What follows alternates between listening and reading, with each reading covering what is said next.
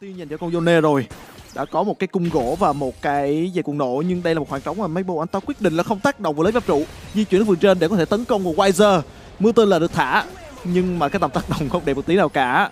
Đã phát hiện ra tầm nhìn, sử dụng dòng nhảy tên lửa, đây là băng trụ dịp hai. Wiser hồi e chưa?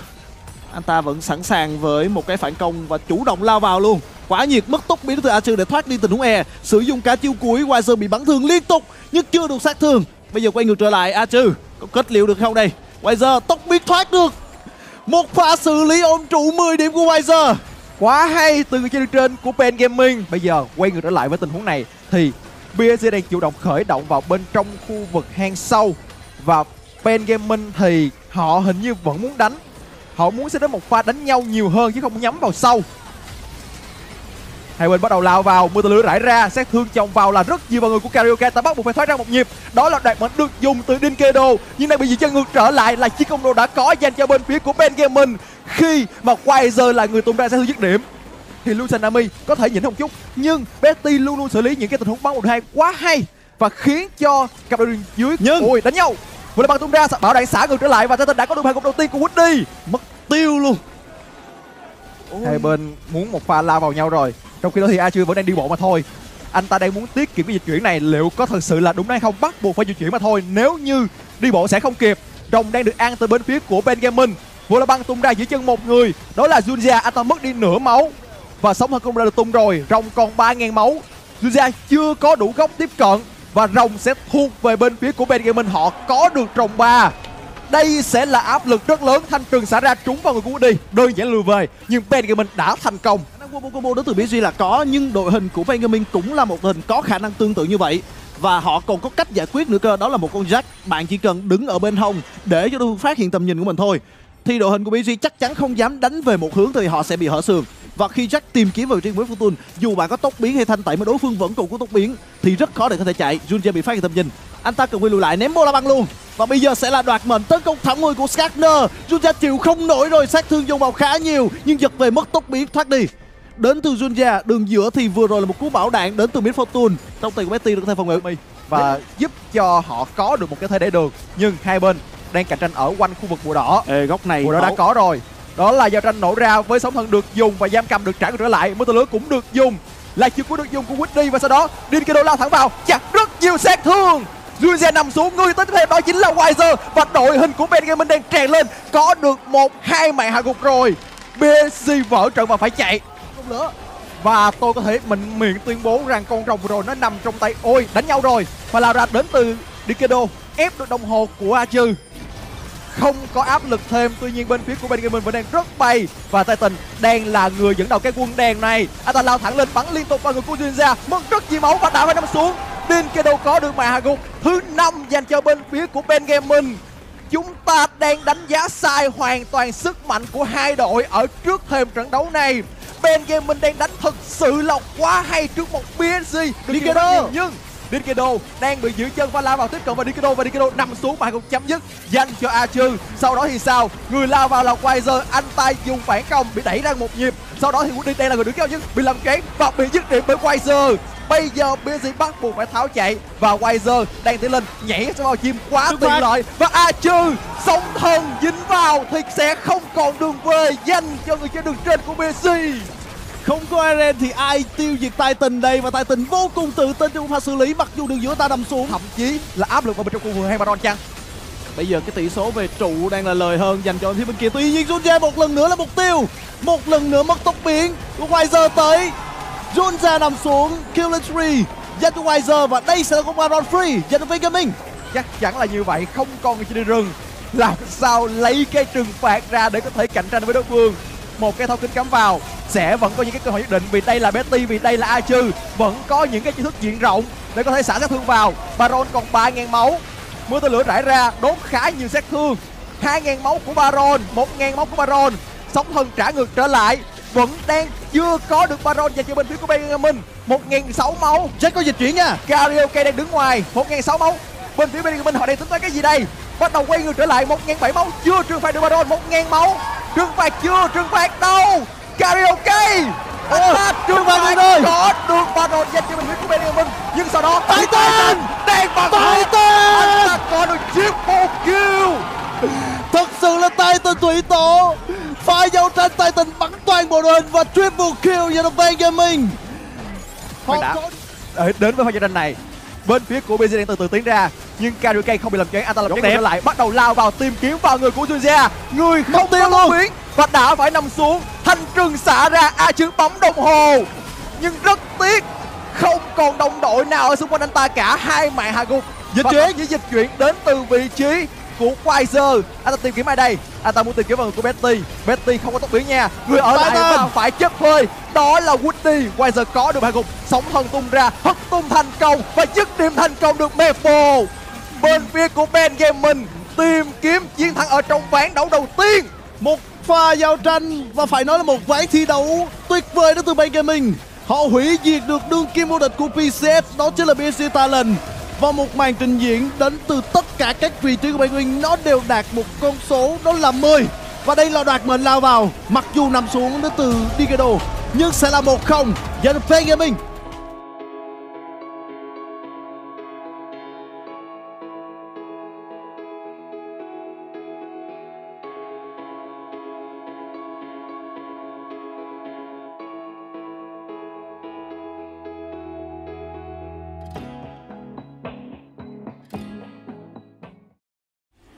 Bên trao đổi tiêu với nhau.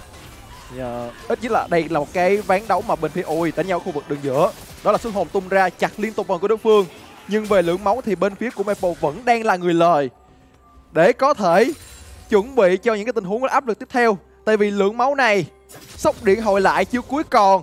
Thì chắc chắn là Maple sẽ có áp lực solo kill vào người của Dinkido. Được khu vực trên.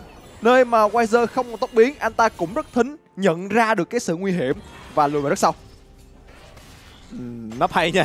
Nắp hay nha dùng e lao lên. Có giam cầm hay không đây? Làm chậm sử dụng giam cầm mưa tơ lương thả ra. Tuy nhiên bây giờ không có tốc biến chạy đâu quá nhiệt lao lên để có thể gỡ. À trừ mất tốc biến phía bên kia vi tới rồi. Đó là tả sung hữu độc đấm vào. Nhưng hóa ra khổng lồ kịp thời. Karioka nằm trong thế khó tuy nhiên vẫn nằm xuống với cú chiêu quy. Và đó là chiến công đầu dành cho Junja bên phía bên này đang là một chấp hai. Và đó chính là chiêu W đến từ A và double kill cho Junja một pha đua kill hai hai thành công dành cho bộ đôi phía của BC Talent. Hôm nay hai bên có lao vào hay không? Khi mà cả Woody, Junja đều sẵn sàng trong tình huống tấn công ngược trở lại. Kéo luôn cả Wiser ra khu vực này. Nhưng mà cũng có những cái động thái di chuyển nhất định đến từ Betty. Đây Hai bên rồi, nhau e sẽ là trúng. 4 đánh 4 e trúng rồi. Có vào hay không? Tôi nghĩ là hơi khó. Khi mà Ben Gaming cũng đang giữ được thế khá là tốt. Đã có được con sâu đầu tiên từ bên phía của Ben Gaming. Họ chủ động rút về bắt đầu là lao thẳng vào đến từ Junja làm kéo thành công được một người. Mưa tên lửa trả ngược trở lại Ui, cầm được ba thành viên đến từ Junja cùng ánh sáng bắn vào không trúng ai cả. Sẽ thường chồng vào và Junja lại là người nằm xuống đầu tiên làm choáng thành công vào Woody. Woody bị kẹt lại. Bây giờ A chưa mới bắt đầu tới làm cho được hai người ngược trở lại. Woody đang cực kỳ thấm máu. Đó là chỉ của Vanessa nhưng người tới là Titan. Mạng trao đổi là liên tục với nhau. Titan bắt buộc phải bỏ vào giai đoạn này khi mà đầu đội người ta đang gặp nguy hiểm không quyết định là Dinkedo đang quẩy ngược trở lại và có được double kill. Pha quẩy khá tốt Kim Việt Tiêu không trúng đến từ Maple và kết quả là ba đội ba rất cân tài cân sức. Nhưng ít nhất là cái cách lên đồ đến từ Dikado cũng giúp anh ta có được khả năng bảo hộ và cũng lấy được hai màn hình từ đúng vừa rồi có lẽ điểm khác biệt giống như anh trí nói mà thôi. Con na này có tác dụng nhiều hơn so với con rumble trong ván thi đấu trước. Đội hình của Penguin đã kéo ba người xuống đây nhưng BC cũng có ba người nha. Con na tí nỉ sát thương rất nhiều lao vào gom người và đó là hai người. Liên tục xả đam đến từ a trừ mưa từ lửa thải ra nó không có tác dụng gì cả. Ít nhất là hít lại một số chỉ số lính đến từ Wiser mà thôi. Anh ta lại có một giây phút anh ta chần, chần chừ. chừ. Và bây giờ thì mất luôn trụ một khu vực dưới. Kuri đang bị kẹp. Cần quay góc về tuy nhiên góc này xa quá bị con Skagner đẩy vừa mất trụ một bên dưới vừa mất luôn hỗ trợ. Chắc đây đã phải nằm xuống rồi bây giờ quay ngược trở lại. Còn nhịp tấn công không gồng quy lên và quy ba lao vào đến từ Yone. Tuy nhiên bắt buộc phải thu hồn về dịch chuyển đến từ Na. Đây là một con đa khổng lồ vô cùng áp lực sân không thường được dần lên. Nhưng bắn cho vui thôi. Tầm này sân không thường thì chưa có nhiều đam. Nhưng ít nhất là đổi được Ui. kim với nhau và không phải nằm xuống mạng đến từ uh, Dinkedo Ờ, vấn đề là ta mất luôn cái bảo hộ đến từ kiếm răng cưa rồi đây là một pha giao tranh rồng rồng này họ muốn lấy trói em vào tim ta rồi. Giam cầm thành công đẩy thẳng vào tường đến từ na cực kỳ đẹp và gom người từ Woody. Anh ta đón đầu cú trực chuyển của Dikado Dikado đang có lóc ba và ta bắt vui lưu về thôi. Maple có màn thứ ba trong cái thi đấu này. Tới tầm mời cả Leonardo da Vinci hay là Picasso cũng khó vẽ tại vì đội hình của Ben của Ben Gaming nó thật ra họ mạnh nhất là ở cái khoảng giữa kia mà họ không bị bỏ xa quá nhiều so với đối phương. Thôi giờ để để- liên tục thực hiện những pha cắt lẻ. Còn bây giờ họ đang bị bỏ xa quá nhiều bất lẽ tầm này bên phía của BG trả đá một trở lại thì bên Gaming cũng nằm luôn. Thôi thì chúng ta vẽ nụ cười đi nhưng mà nụ cười vẫn Khó chưa vẽ. có trên gương mặt nha. Nikedo mất xuất hồn lùi về và combo đỏ này sẽ nằm trong tầm kiểm soát của đội hình PSG họ kéo bốn người ở đây và thậm chí là năm người. A Chư bận phòng ngự vừa đường dưới. Karika lao vào. Anh ta sử dụng chiêu cuối tấn công thẳng vào. Tuy nhiên, sát thương chưa đủ. Anh ta bị tấn công bị Bappo và đã phải nằm xuống rồi. A Chư lao vào. Đó chính là sân khấu tử thần của đi bật cho mình đó là cậy lá chắn mình lên để chạy mà thôi. Nhưng những cú bắn đến từ Betty nó không tìm mục tiêu nhưng sẽ là hai mạng. Rừng vào đường giữa. An Baron hay không? Liệu có một pha giao tranh, gọi là với những tình huống xử lý kỹ năng cao từ bên phía của BG hay không mà thôi. Giờ phải ép tại vì bây giờ họ xóa hết tầm nhìn của đối phương ở khu vực Hamaron rồi. Khi đối phương lao ra đây Sunja lao lên. Anh ta đẩy một người vào tường đó chính là đường trời đối phương kéo về. Đúng là trói em vào tim ta thì cách gì mà chạy được nữa. Bây giờ Yone trong tay của Nikado thì khu vực đường dưới để mà farm thôi anh ta không dám tiến lên đây để có thể xuất hồn. Không cần Baron không cần đến bù lại Baron bên phía của PSG vẫn dễ dàng có được. Ê, chung là con na ba đến một na khổng lồ rồi mất đi cái nhảy của mình. Lao vào sử dụng chiêu cuối hay không? Đây chiêu cuối vẫn còn đó. Dịch chuyển đến từ riêng PSG cứu viện đã tới. Woody lao vào gom được ba người Betty liên tục xả thương nhưng con na đẩy về hơi bóp nha. Nhưng Battle lao tới sẽ là hai màn và ba màn. Dân PSG bốn màn hạ gục. Endgame không. Ui. Ê, múa hơi mượt. Nhưng mà cái cà phê đó không trúng. Cơ hội nào đó cho bên Gaming là cái việc chết là chóc. Ừ. Nét vẽ chết chóc của Jin chứ ai đây? Đây. nét vẽ chết chóc thống người Guri Valkyrie đang cố gắng chạy về anh ta bị giam cầm nữa rồi khó quá đi tiếp tục lên ngựa mang hạ gục tiếp theo cho Betty rồi đẩy thẳng tiếp tục vào tường đó là Titan Bây giờ thì Junja anh ta là một câu scanner cực kỳ trâu cũng sẽ được tung ra, mưa tên lửa cũng được tung ra và Junja vô cùng trâu. Vô này là vào sát thương không đủ và Karuka tự sát trong đội hình của PSG. Hiện tại Găm E đã trúng, có quyết định là mua hay không? Nhắc vẻ chết chóc tiếp tục trúng. không vào Đủ đi.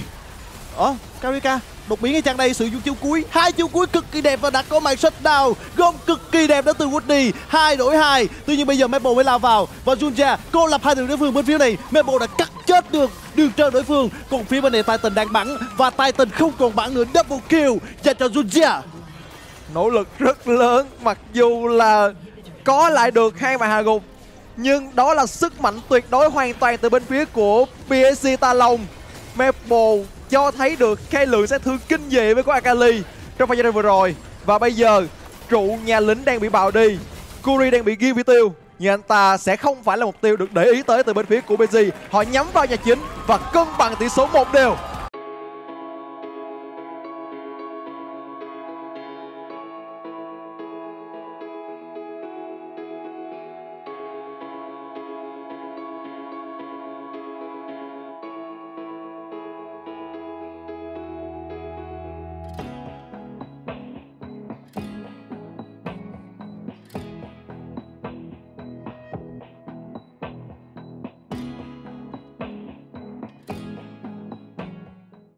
Hơi khó để có thể có được cái áp lực tấn công tiếp đến từ bên phía của BG ở khu vực trên khi mà vòng rừng của cả hai người chơi đi được không chính xác hơn là cấp độ 3 BG là từ trên xuống và bây giờ là găng ở khu vực nửa dưới tiếp cận vào người của Betty cực kỳ thấp máu rồi và ta sẽ phải nằm xuống mà chỉ có đầu đã có dành cho Titan.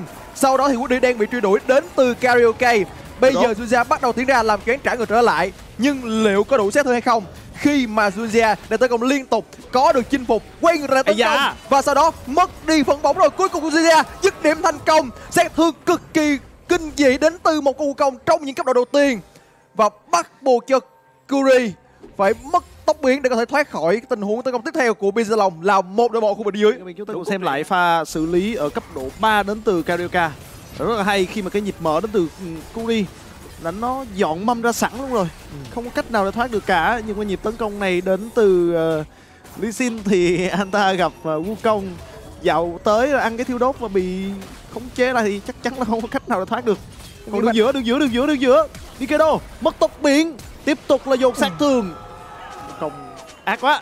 Càng càng đúng là nhân vật chính nha. Đúng đúng đúng đúng đi, đi đúng. tìm đi tìm lục căng đúng không? Đang có người bên cạnh Wiser nha. Băng trụ tầm này với con Wukong chưa cấp 6 Ừ, khó. rất mạo hiểm. Ơ, đánh à? Ơ cấp 7 là có rồi nha. Lee Sin đang có phía mặt phía sau Rồi. Junja bị combo bóng nghiền nát. Anh ta chưa có tốc biến. Và bây giờ tàng hình lao qua đó là sông vào vùng cước lao theo. Đi rồi. Chắc chắn là sẽ phải nằm xuống đến từ dây đường của PSG và sau đó là cân bằng tỷ số hai đều. Liên tục. Khu vực đường dưới sẽ là một cái thế đẩy khi mà cái nỗ lực tấn công đến từ PSG nó đã phá sản rồi còn đường trên. Đây. Ấy bắn trụ con ven nè có dễ hơn hay không đi, đã có dịch chuyển nổ lung cước. Tuy nhiên đó là cú bắn giật về, cú kết án. Ba đánh một, không chụp cũng què mà thôi. Đó đây là người mạnh nhất bên phía đội hình của Benjamin anh ta sẽ vắng mặt. Bây giờ thì Wazer đẩy lính và di chuyển lên. PSG biết được điều đó và bây giờ họ sẽ thất bại trong việc kiểm soát con sứ giả nước cây trang đây. Và Wazer cũng đang kiểm soát cái nổ rất là đẹp nha. Tôi để ý hai pha giao tranh từ nãy đến giờ. Pha giao tranh ở khu vực hang rồng và bây giờ là pha giao tranh sứ giả. Weiser liên tục có được một cái lượng nổ đẹp để chuẩn bị cho một pha giao tranh cần thiết nếu như mà bên phía của BG muốn lao vào BG thì đang, gọi là, câu thời gian để cho A chưa đẩy ở khu vực đường dưới. Tốc độ đẩy này đến từ một con ven, liệu có đủ để có thể áp lực không? Tôi nghĩ là không. Và kết quả là thậm chí là biến về cho đỡ tốn thời gian. Bắt đầu lao vào, tiếp cận giữ cho thành công một người. Đó chính là vị trí của Woody. Woody bị mốt rất nhiều. Anh ta cố gắng chạy và chạy thành công khi mà người nằm xuống đầu tiên lại là karaoke. Betty có được hàng gục. Sau đó Juzia lao vào hơi sâu và đó là hàng chỉ đường nằm xuống và lao vào đến từ vị trí của Maple. Xét thương cũng là tương đối và Curry là người nằm xuống tiếp theo. Là hai mạng hụt dành cho bên phía của BC sân khấu bắn ra nhắm vào người của Wiser và đó là mạng hai hụt thứ ba. Nó nằm trong tay của Maple. Bên phía của PSG đang thắng lợi hoàn toàn. Betty ở khu vực này tương đối cô độc muốn đi tiến ra. Không quá áp lực vào người của Betty. Và kết quả là Betty vẫn có thể an toàn lùi về và lời hoàn toàn cho bên phía của BG Talon một pha giao tranh mà tôi ngỡ như là BG là người bị thất thế khi mà phía bên Gaming đã chủ động tấn công Tuy nhiên cái lượng sát thương dùng vào đơn mục tiêu thiêu đốt thái dương là sang dùng thẳng vào người của một con Lee Sin ở giữa đó là làm hết nhưng mà không được gì hết. Đây à. Thế bao quay một đẩy hai người vào tường, hết lính rồi nha. Và trụ cũng không còn, ba đánh một thái dương là sang được tung ra bốn đánh một Khó quá như Wiser rồi. Sau một pha xử lý fail thì anh ta tiếp tục bị trừng phạt và màn hào gục. Nó rơi vào tay đúng người, rơi vào tay của Juja. Nhưng cũng ổn vào người của Zizia mà thôi, chứ không quá áp lực. Bên phía của bên Gaming thì được cái là họ kiểm soát rất tốt. Họ luôn luôn kiểm soát rất tốt mắt xích rồng ở khu vực sông nửa dưới. Và giờ họ đang kiểm soát vào con rồng tôi nghĩ là cái lượng máu này cũng khá nhiều rồi đó. Ừ. mất gần nửa máu đến từ Junjian ta bắt buộc phải lùi về farm lính để có thể hồi máu dịch chuyển bật đầu phía sau đó chính là Kali rồng dành cho phía của Mega họ quyết định lùi lại, lốc xoáy được hai người. Bên phía này mấy Maple la vào. Anh ta tìm kiếm một tay tên và đã hai cùng tên bên phía bên kia, na trong tay Wiser cũng đã nằm xuống. Sân khấu từ từ được dựng lên và Mega Gaming đang cố dìu dắt nhau về. Họ có được con rồng ba và thi đấu, mất hai người. Nhưng đây là cửa mở ra Baron dành biết gì bắt đầu thấy khó về được Kuri rồi, không có bất khuất thì con bò này cũng rất mỏng cơm. Mất cả thiêu đốt tình huống vừa rồi đây là một con rồng mà BG Talent sẽ phải Odin 100% vào. Còn ngược lại, bên cái mình, họ có quyền nhìn vào người. Và bên phía bên kia có mấy bộ đứng đợi trong bụi. Bên này thì A Trừ đang tìm góc anh ta đang đánh một con về sát thủ và lao vào một người đó chính Junji anh ta bị dồn sát. Thương cực kỳ nhiều sân có thể được bung ra.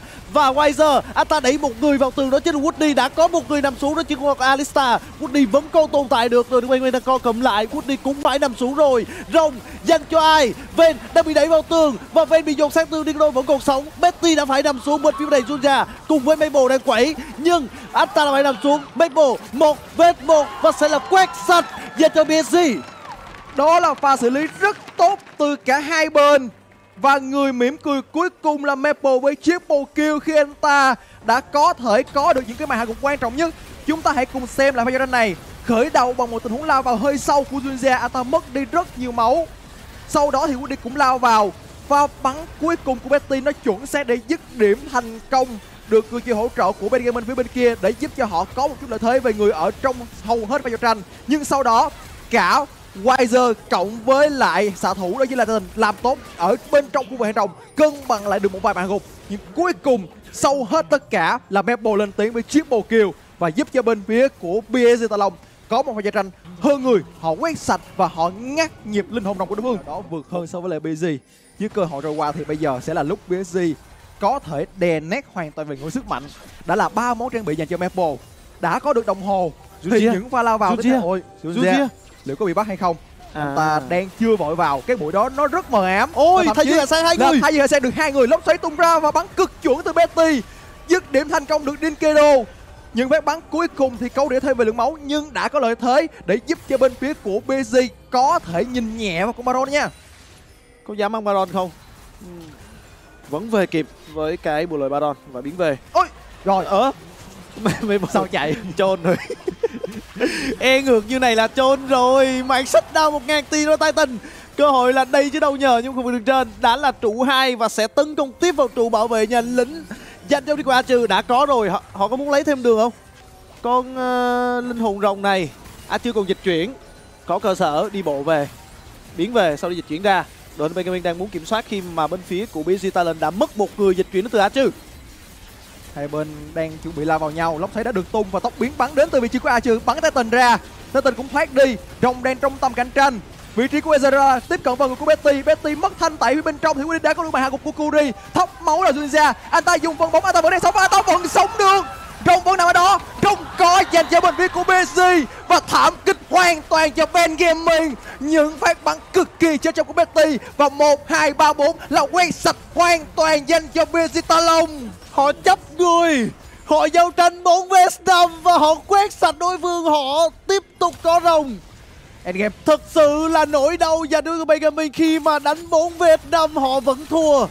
Cú dịch chuyển và tốc biến thẳng xuống hàng rồng đến từ A Trừ Nó như một gáo nước lạnh thẳng vào mặt của đội Benjamin Và sẽ là 2-1 dành cho PSG Một màn lội ngược dòng cực kỳ tuyệt đỉnh của PSG Talon Chúng ta phải thừa nhận rằng Ben Gaming ở trong cặp trận đấu này không hề tệ. Họ đánh rất hay, nhưng PSG cho thấy được cái bản lĩnh của mình.